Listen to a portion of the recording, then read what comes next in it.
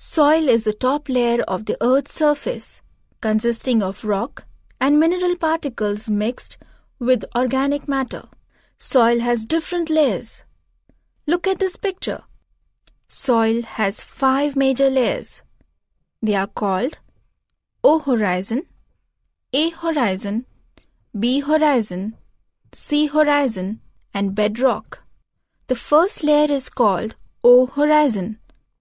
This layer contains dead organic matters.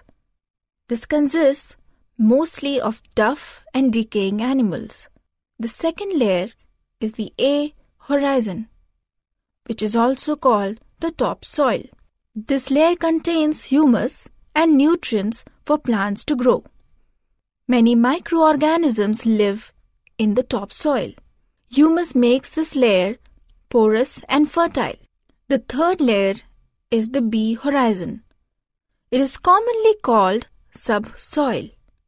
It is made up mostly of rock bits and some nutrients. Rainwater collects in this layer. The fourth layer is the C horizon, which is commonly called parent rock. This layer consists of small pieces of rocks with cracks and crevices. Nutrients are low in this horizon and thus plant roots can't penetrate in this horizon. The last layer is the bedrock. It is made up of solid rocks. It is non porous. Rainwater gathers over it to form the water table.